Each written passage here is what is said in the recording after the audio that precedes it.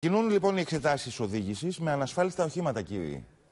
Ε, έχουμε τον Φάνη Καραμπατζάκη, ο οποίος έχει μαζί του τον κύριο Νίκο Κρέτζελο, πρόεδρος του Σωματείου Εκπαιδευτών Δυτικής Αττικής. Καλημέρα, Φάνη.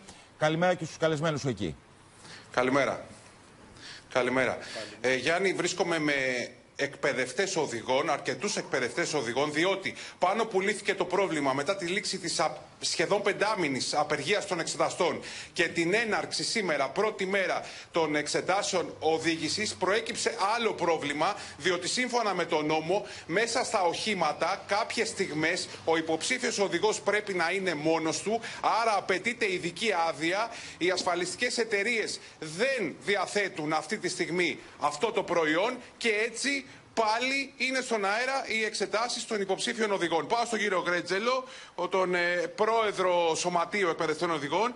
Κύριε Γκρέτζελο, τι γίνεται; Ε, σήμερα ε, ξεκινάει τυπικά η εφαρμογή του νόμου για τις εξετάσεις των υποψηφίων οδηγών.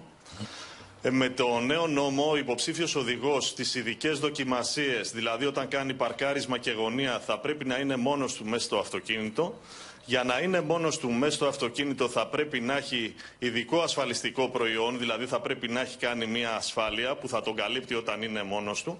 Αυτή η ασφάλεια δεν υπάρχει, δεν υπάρχει από τις ασφαλιστικές εταιρείες για να την αγοράσει και κατά συνέπεια δύσκολα θα ξεκινήσουν εξετάσεις. Έχουμε ζητήσει από τον Υπουργό, τόσο εμείς όσο και η Περιφέρεια που υλοποιεί τις εξετάσεις, να δώσει μια παράταση έτσι ώστε να είναι έτοιμοι για να ξεκινήσουν οι εξετάσεις με τον νέο νόμο. Να πούμε εδώ στους φίλους τηλεθεατές. Επίσης, ότι... ο νέος νόμος δημιουργεί και άλλα προβλήματα. Ωραία, θα τα πούμε τα προβλήματα. Δεν ξέρω αν με ακούτε. Ο νέος νόμος δημιουργεί και άλλα προβλήματα. Ναι.